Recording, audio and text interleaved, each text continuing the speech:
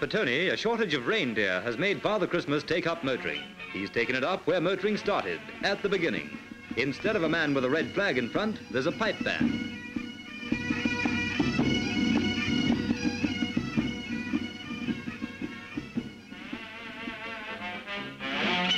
A breakdown, but the girl in the car has heard this one before. Anyway, who'd ever think of breaking down with all these people looking on? The drum major tries a little coaxing, but the girl is sitting tight. Apparently, she's not going to walk home.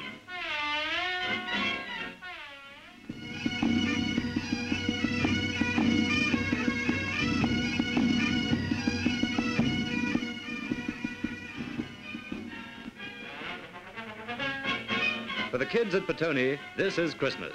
Despite transport problems, the old boys made it again.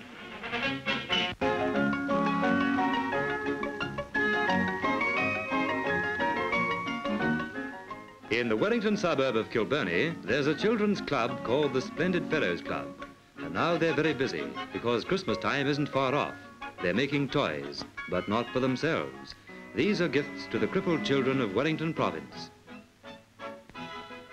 Girls make picture books. They sew up teddy bears and dolls and gollywogs.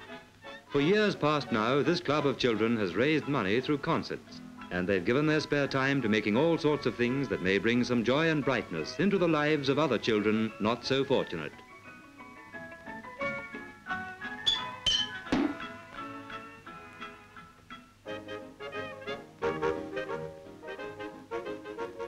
This is the climax of many months' work given after school hours, through winter evenings and during weekends. This year, the club has excelled itself. 230 pounds was raised, and a talkie projector is among the gifts. Christmas is here again, and once more the crippled youngsters are given a party by the club. Eagerly they come up to receive their presents. This is one time perhaps when they need less help than usual. It is something they look forward to from year to year.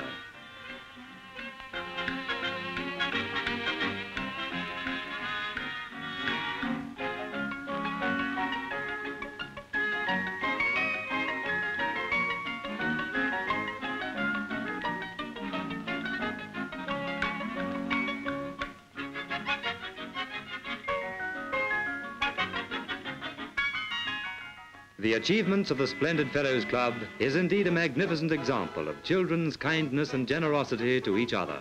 For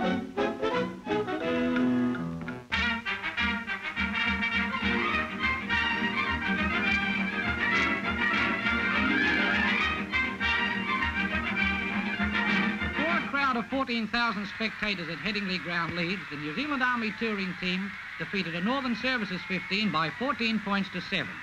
After the kick-off, which went into touch on the full, the game restarted with a scrum at halfway. And Edwards is coming over to put the ball in for New Zealand on this side. Now, can Haig hook the ball? He does, and watch Edwards get the ball out to Allen at first 5-8, and Allen kicks for touch as he is crowded by the services backs, and that is how the game started. The game was full of thrills, and the services 15, which contained 12 international players, some of them rugby league players, were very fleet of foot and very tricky, but they have a line out as the ball goes into touch from that, and out it comes again on this side, and now you'll see Simpson take, tear one of the men right down to the ground, one of the services forward, and the services men have to relieve with a quick kick to touch. That was Ward, the international, who kicked that ball, but the services fullback, who played a grand game, now passes the ball out on this side, uh, sidesteps two men and kicks for touch. In from the line out again, Rind holding the forwards in at the back, McPhail trying to protect Edwards, but Edwards uh, dived over himself that time without getting away with the ball. Simpson dived down on it and held the play up again to so that his forwards could uh, recover. Now here go the services again trying to get it out on this side, but the ball brushes off Argus into touch.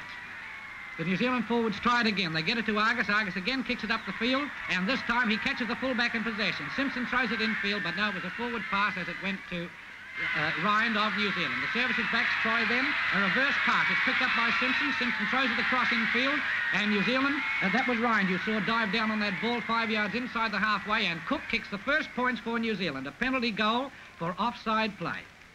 And so the game goes on. Out this side now, and you see Dobson, it is, running up there. The fullback stops him for a moment. He beat two or three players badly, then kicks back.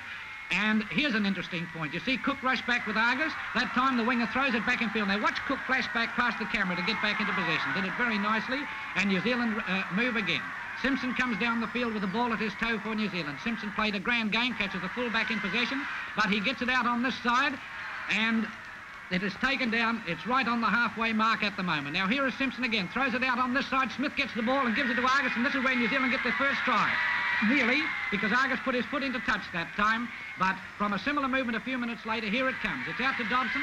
Dobson takes it, and he passes to Smith. Smith gives it to Dobson. Watch Dobson push that winger off him. If he gets to the 25, he in passes now to Dobson, and watch him streak for the line and score the first try for New Zealand.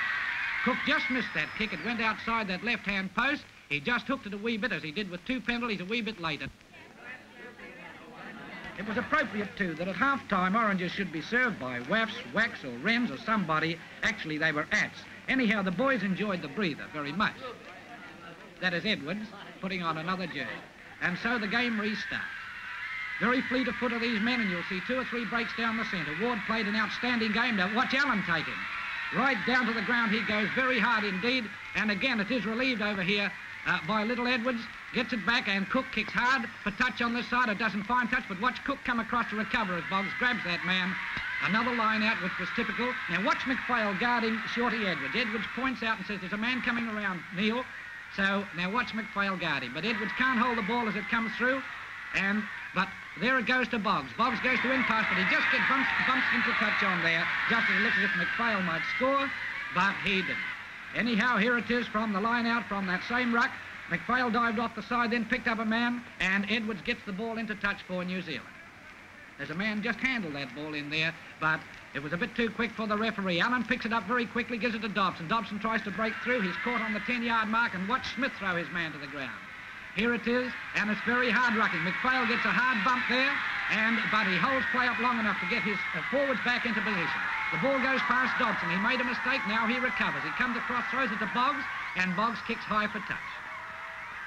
And here is Smith coming up now. He gives the ball to Boggs, and so a great game ended with New Zealand Army 14 and Northern Services 7.